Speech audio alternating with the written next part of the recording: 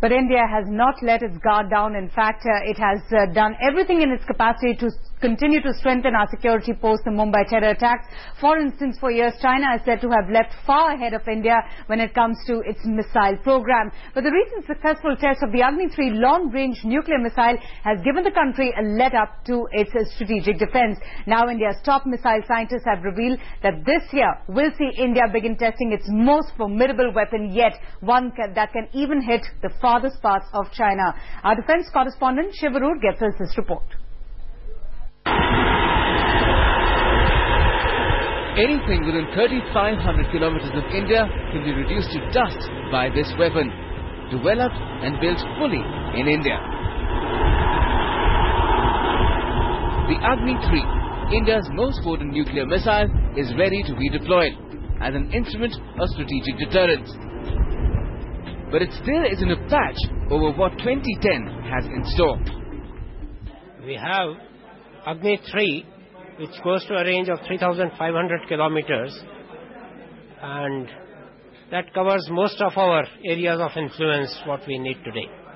But the future requirements that from anywhere within the country we should be able to cover a large part of the landmass. But that Agni 5, 5,000 plus kilometers range missile is already has gone beyond the design drawing boards and onto the material cutting and the subsystem development stage. If that doesn't make you feel a little safer, try this for size. India's top scientists aren't the least bit unnerved by China's enormous weapons program.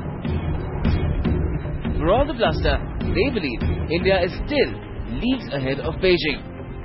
We are well ahead of China in many respects and definitely ahead of Pakistan in the total capabilities. It goes deeper. Fresh from the afterglow of successful tests of a homegrown anti-ballistic missile system, Indian scientists believe it will soon be far less susceptible to a missile attack than China. We are senior. this is one area where we are senior to China. China's defense budget may dwarf India's, but Indian weapon scientists are still working very hard to give the country's large neighbor some food for thought. After China's controversial anti-satellite weapons test in 2007, it has been revealed that India already has the capability. In terms of technologies, what we are using, we are way ahead. The development exercise on ground, on the simulation boards is already on. And any time the nation needs this capability to be integrated into a weapon, it can be created. The stunning new confidence is laced with a very new proposition. India doesn't even consider Pakistan competition anymore in weapons development. Agni 3's deployment readiness has infused enormous confidence into a system that has been criticized for years. 2010 promises to be very different. India's missile program is something that every Indian can justifiably be proud of at this stage. It's been a program that has been criticized over the decades, but now, on this day, on this stage, the Agni, the anti-ballistic missile program and others are something that every Indian can actually be proud of. Shiv Aroor in Delhi for Headlines Today.